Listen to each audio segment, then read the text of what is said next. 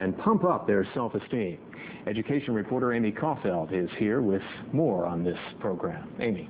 Al and Lisa, when you think of who gains from the knowledge at ETSU, the school's employees probably aren't the first that come to mind, but they're exactly the focus of this week's Education Watch.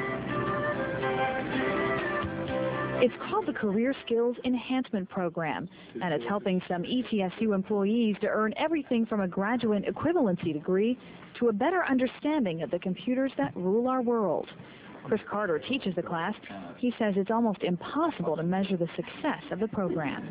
The increased self-esteem, the increased uh, attitude, uh, the, the ability to work better with others, uh, just to take their own initiative. I mean, that stuff I just see, and it's remarkable.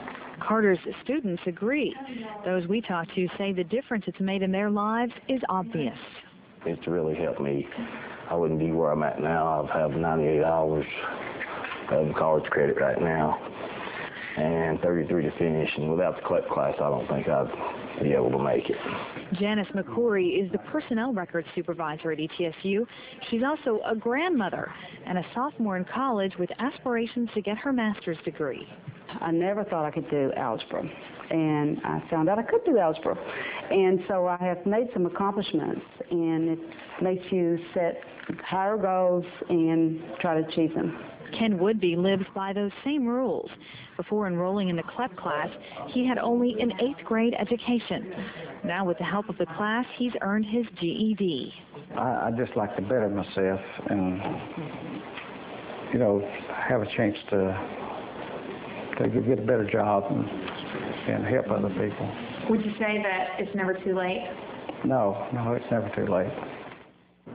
The class is free to all ETSU employees. Interested employees are allowed one hour with the class per day, up to three hours per week. And Al and Lisa, in the past two years, more than 90 students have enrolled. Four have gotten their GEDs. But it's not just for GED students, like you heard Mike Ray say. He's working towards his college degree as well as uh, Janice. So it's really an amazing program, and it's really giving these students a lot of drive and, and helping them to achieve their goals. What, what a great bonus of working there. Exactly, sure. And the university administration actually makes it possible for them to do this. Exactly. They're allowed to do it on their own time. They don't have to come back later in the evening. They just, you know, take an hour out of their day and go over to the class and go back to work. Fantastic. Thanks, Amy.